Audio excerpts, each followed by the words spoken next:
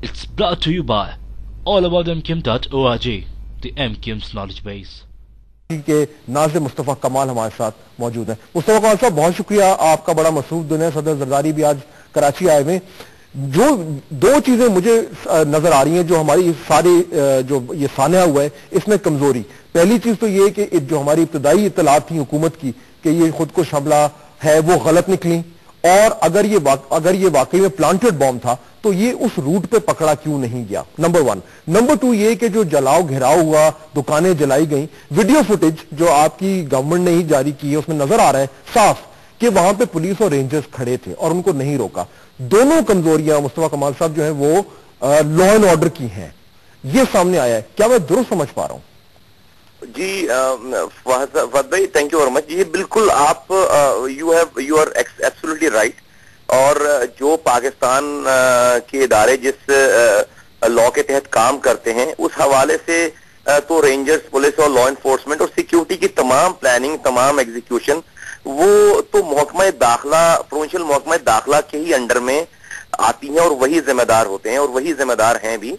और इसमें अब मेरा ये ख्याल है कि कोई इम्बिग्विटी नहीं रहनी चाहिए। इसलिए कि देखिए प्रोविंशियल होम मिनिस्टर भी और आज सीसीपीओ आज चौथे पाँचवें दिन आ, मैंने सुना है सीसीपीओ साहब ने भी अपने अपने आ, इस स्ट्रेटजी को जो दो घंटे तक उन्होंने वहाँ से इवैक्यूएट करवा लिया अपने लोगों को इसको एक बहुत अच्छी स्ट्रेटजी कही कहकर उसे पुकार रहे हैं।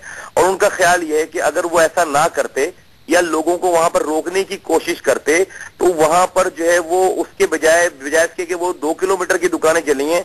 उनका ख्याल ही उनका कहना ये है जो मैंने सुना है मीडिया पे सुना है लाइव बोलते हुए कि फिर वो पूरा शहर जल रहा होता। तो अच्छा, ये ये बताएँ मुस्तफ़ा कमाल साहब कि ये जिस तरह आपने कहा कि ये ज़िम्मेदारी जो है ये लॉ एंड ऑर्डर की है और ये जो प्रोविंशियल होम डिपार्टमेंट है उसकी बनती है जिसके सरबराह जो है वो डॉक्टर जुल्फिकार मिर्ज़ा साहब हैं। वो हैं किधर? मुझे तो नज़र ही कहीं नहीं आ रहे। आपसे कोई मुलाकात हुई है? वो है शहर में कुछ वो कर रहे हैं? उसमें भाई मैं इसमें जो है वो डेफिनेटली जो है वो हमारे कोलेशन पार्टनर है मैं फिर कुछ कहता हूँ तो उस पर फिर बहुत ज़्यादा बात की जो है वो वो खाल निकाली जाती है। I would not like to comment on that लेकिन let me just if you allow me अगर मैं आपको सिनेरियो थोड़ा सा अभी की कंडीशन बता दूँ और थोड़ा सा मैं बता दूँ कि देखिए सात मिनट के बाद, धमाके के सात मिनट के बाद फर्द ये यहाँ से पुलिस जो है वो बिल्कुल बाकायदा मोबाइलों में भर भर कर जो है वो सारे लोग निकल गए और उसमें अब कोई इम्बिग्विटी नहीं। हमारे पास फुटेजेस हैं और पुलिस ने इसको अगर अपनी स्ट्रेटजी बता भी दी। गलत या सही, ये फैसला डेफिनेटली जो मेरा काम नहीं है, वो पाकिस्तान के लोग करें और जो इदारे हैं वो अपने वो फैसला करें। मैं आपको ये बता दूँ कि हमने क्या किया हुआ था। ये जो आज आपको जितनी भी विटनेसेस मिल रही जो इतनी भी फुटेजेस मिल रही हैं सारी जो कि हमारा काम नहीं था। सिटी डिस्ट्रिक्ट गवर्नमेंट कराची ने आपको याद हो बारह रबी लेवल पे चार पाँच साल पहले यहाँ पर धमाका हुआ था निश्तर पार्क में। तो चूँकि तमाम रैली जो है वो निश्तर पार्क से में ही होती हैं तमाम मुहर्रम के जुलूस हर साल निश्तर पार्क में पब्लिक और और ये रिलीजियस गैदरिंग हमने अपना सर्वेलेंस सिस्टम जो कॉरिडोर्स में लगाया वो निश्तर पार्क से लेकर पूरे टावर हम सर्वेलेंस में ले आए। और वहाँ पर और दस मुहर्रम को बाकायदा पुलिस को लेटर लिखकर हमने वहाँ पर एक ऑन ड्यूटी एसएसपी लेवल के लोग वहाँ पर बिठाए अपने कमांड एंड कंट्रोल रूम में और अपने एजेंट्स को उनके अंडर में दे दिया। और इन फुटेजेस से मुस्तफ़ा साहब ये जो फुटेजेस है ये पहली बार शायद हुआ है कि इतने वसी पैमाने पर सारा सारी कौम जो है वो देख पा रही है कि वहाँ पे हुआ क्या। मैं मुझे ये बताया मैं आपसे ये जानना चाह रहा हूँ कि ये जो जो चंद पॉइंट्स मैंने रेज किए इसमें जी जी जी। लास्ट एक सेकंड ये जबकि ये मेरा काम नहीं है टू बी मैं हाँ।